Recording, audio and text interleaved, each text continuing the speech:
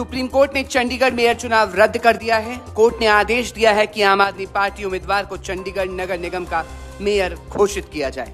Court ने कहा कि कुलदीप कुमार को मिले आठ वोट गलत तरीके से अमान्य करार दिए गए थे। अदालत ने पीठासीन अधिकारी रहे अनिल मसीह को उनके आचरण के लिए नोटिस जारी किया है। रिपोर्ट के मुताबिक मामले की सुनवाई के दौरान कोर्ट ने कहा कि रिटर्निंग अफसर ने अपने अधिकार के बाहर जाकर काम किया। कोर्ट ने कहा कि मतगणना के दौरान रिटर्निंग अफसर ने नियम विरुद्ध काम किया। इसी के साथ पीठासीन अधिकारी को निष्पक्ष होना चाहिए, लेकिन उन्होंने जानबूझकर मतपत्र खराब किए।